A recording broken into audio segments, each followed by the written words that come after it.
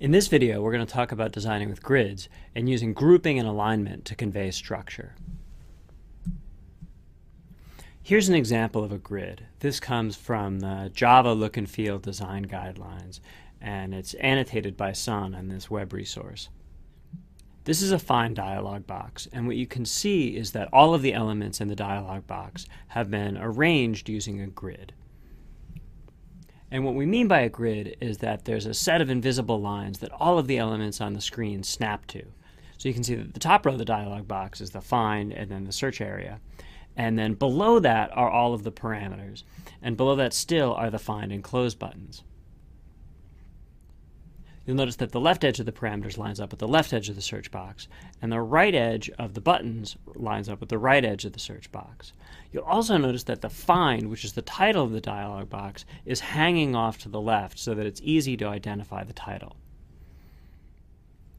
You can see how the most inf important information is near the top, and how things that are conceptually more related like the parameters that parameterize the search system, are closer to each other than the buttons, still part of the uh, same dialog box, but a little bit further apart, and so they get more space.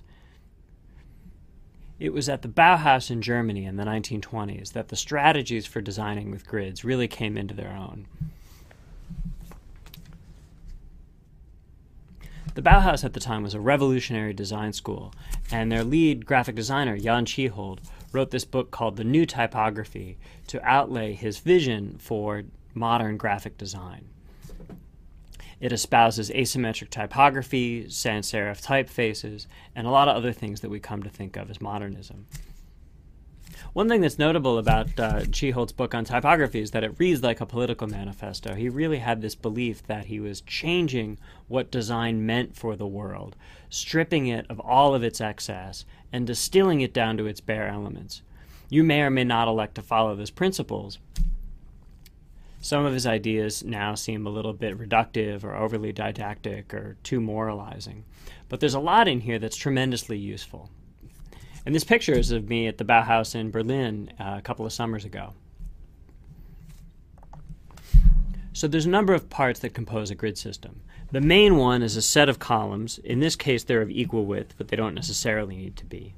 And the second piece is a set of gutters, which is the white space in between the columns. In addition to that, things are generally horizontally aligned using a baseline. You can add text hierarchically, so here we see a title and a subtitle or maybe a byline or something like that. And there's no need for the grids to all be of equal width. So here's a mock-up, for example, of a narrow left-hand column that you might use for navigation, and then a wide central column that may have the body article or main content of a page.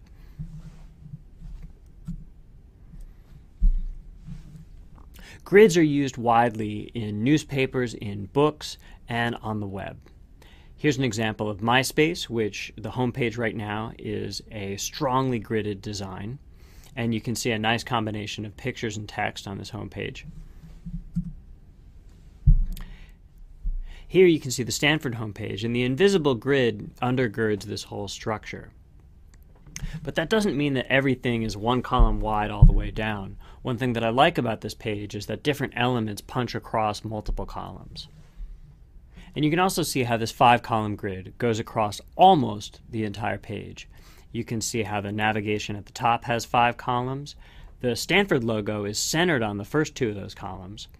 And those five columns travel down throughout the major white space part of the page. The grid is broken somewhat at the bottom with the footer.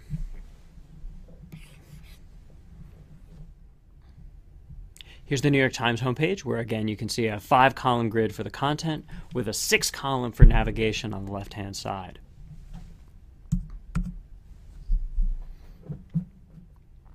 You can see how those five columns invisibly travel the entire page, and that some of the content in the middle, for example, is two columns wide, and which parts are two columns wide vary across the page. And so that makes it a little bit more dynamic so it doesn't feel too rote and too boring.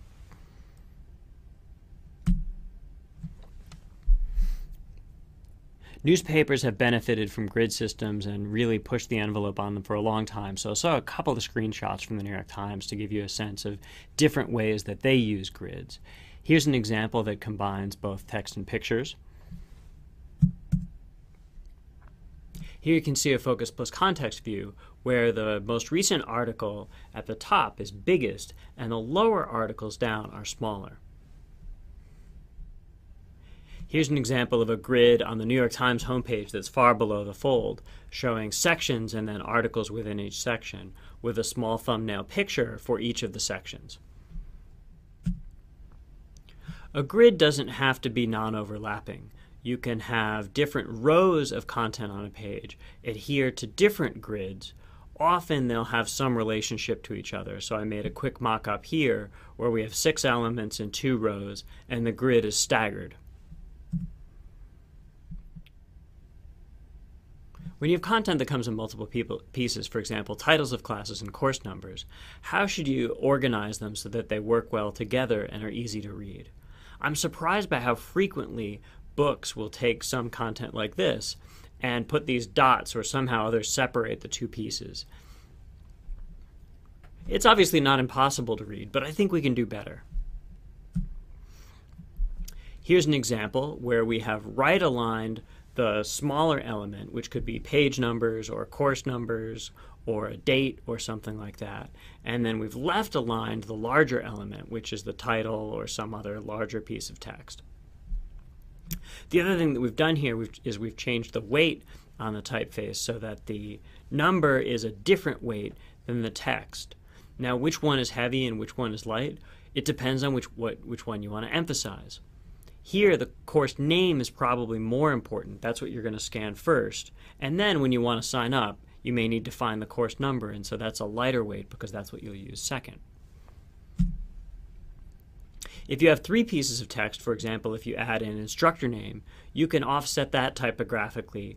Here's just one example of adding it over to the right. Adding a third column can make things a little bit confusing. Depending on your content, that can work too. Another strategy, of course, is you could put that third element on a separate line. Here we see the instructors listed below the course number. And if you're going to do this, have the stuff that chunks together be closer together and the separate chunks be further apart. So what we're looking at right now is that the leading, the inner line spacing between every line is identical, and that's suboptimal because it's less clear which element the instructor name goes with. If we add a little bit of space in between our elements, it becomes clear which instructor groups with which course. You can also see a trade-off here, where by having two lines per course, it reads very clearly, but we're using up more vertical space, maybe less horizontal space. Depending on which screen space or print space you're laying out into, that will change your design decisions. Another thing that we might do if we really want to de-emphasize course numbers is scale back the gray value of that number to make them recede further.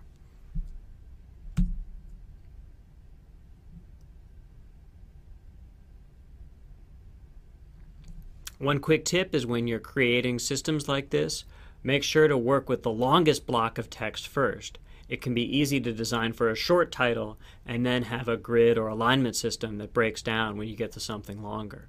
This is especially true if you're designing for multiple different languages. For example, German text often consumes a lot more real estate than English or Spanish or French text does.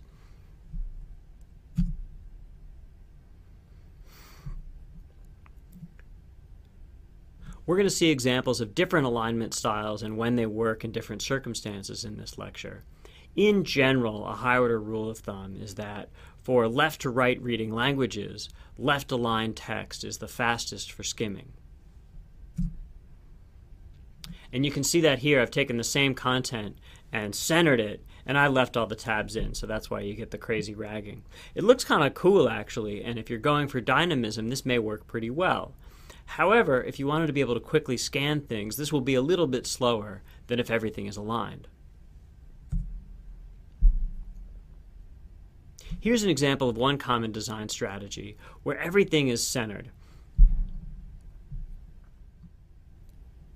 And you can, of course, get the information off the, this page that you need to. But the centering makes it hard to scan for the things that you need. Also, there's a lot of chart junk on this page, so the boxes around the overview and the publications are pretty unnecessary and make it slower for your eye to get to the things that you need to. If this page were designed using a grid and the chart junk eliminated, then the content itself would move to the fore more strongly. So to sum up, using alignment well helps guide your eye and reduce clutter. Avoid slight misalignments because they undermine your ability to beacon the organization. We automatically notice patterns and also deviations from them, and so use patterns when you want to convey consistency and deviate from them only when you intentionally want to distinguish that content. If your deviation from the pattern is accidental or laziness, it'll leap out to the eye and distract from the message that you're trying to get across. And you can use visual proximity, keeping chunks close together and self contained, and separating chunks further apart to distinguish what the elements are. And you can use scale and hierarchy, making the important things bigger and the less important things smaller or scaled back in color as a way of emphasizing what the more and less important pa- as a way of emphasizing what the more and less important parts of the page are.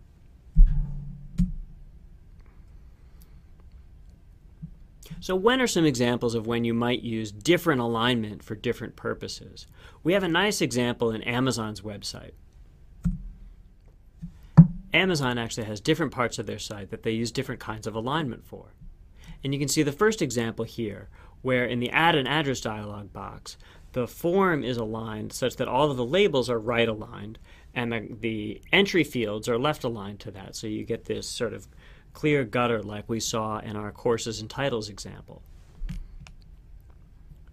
This makes what you need to fill out extremely clear. Here on the account page, you can see how all of the labels are left aligned. This page also offers a nice example of visual hierarchy where the key piece of the label is very large and the subheader, which explains in a little more detail, is much smaller and also scaled back in gray value. And finally, on the right-hand side of this very same page, we can see an example of top alignment, where the headers for the form are above the form cell.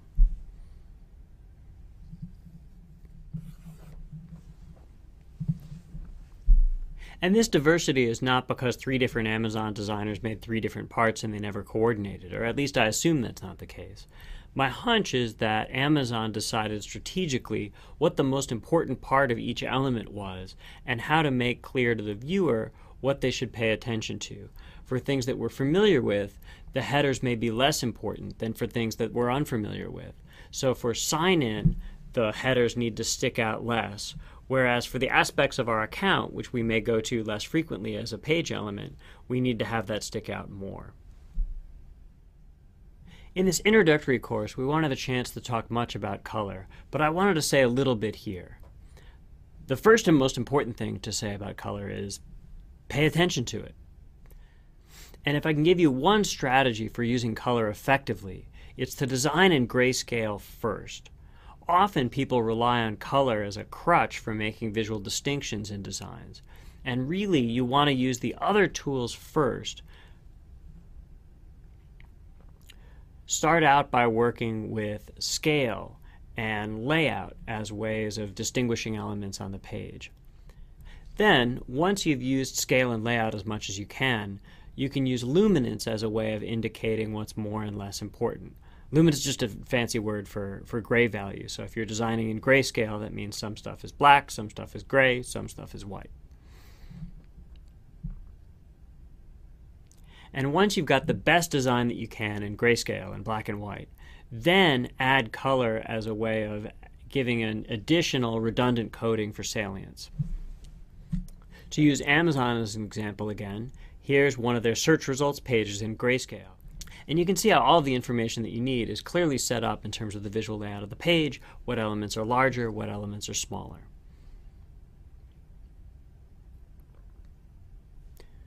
So the whole thing works in grayscale or black and white. But if you add color, it gets even better. And that, I think, is the most effective way to use color. The other thing to say about color that I think is useful is by and large, don't overdo it. All things equal, fewer colors is generally more powerful and less overwhelming than more. This is obviously going to depend on your taste, and this is obviously going to depend on what you're trying to convey. Again, from the Java Look and Feel design guidelines, here's an example of how this version of Java used six colors, three shades of gray, three shades of purple, as a way of organizing all of the elements in their widget library. One way that they used color is that anything that you could click on was some shade of purple, and anything that you couldn't click on was some shade of gray. And that provides a nice organizing characteristic and gives a sense to the user of what they can do when they see a particular screen. And because color is used so consistently, color means clickable. It's really easy to learn, even if subconsciously. And I'd like to close with this example from a book. Here's the first page of Umberto Eco's book, The Island of the Day Before. And it's a beautifully typeset book. I'd like to point out a couple of things about this book. For starters, there's a quotation from a diary that's at the beginning of the page. That's set off in italics to show that it's different. Then, each chapter begins with a couple of words of text in small caps, and there's a good amount of space above that line of text. And finally, there's a lot of white space around the text in general, and providing white space is important. Books and texts that have a little bit of room around them are easier to read than ones that are jam packed out to the edges of the margins. That's one reason why you'll see hardcovers have more white space than cheaper paperbacks. In the paperback case, they're trying to save pulp to make it a lower price. But the hardcovers, which they can charge a little bit more for, offer more room and are a little bit easier on the eyes to read. If you're interested in learning more about grids and alignment, there's a lot of great books out there. There's a couple that I recommend. One is uh, Jan Tschichold's classic, The New Typography. Uh, another is Kevin Mullet and Darrell Sano's Designing Visual Interfaces. Uh, and a third is Luke Wroblewski's Web Form Design. This is one of the Rosenfeld books, and this whole series is excellent in terms of its HCI